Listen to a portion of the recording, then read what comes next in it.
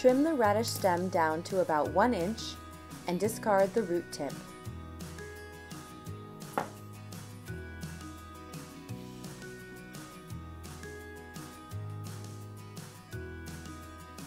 Holding the stem end, slice as thin as possible from the tip to the stem.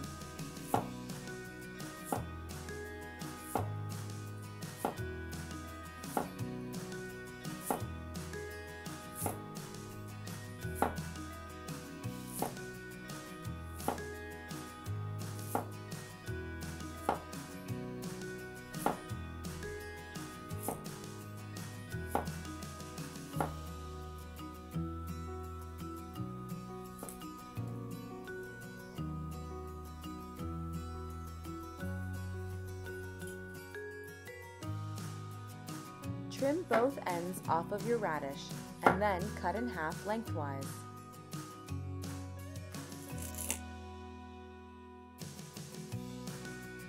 Lay the halves on their flat sides and slice to your desired width.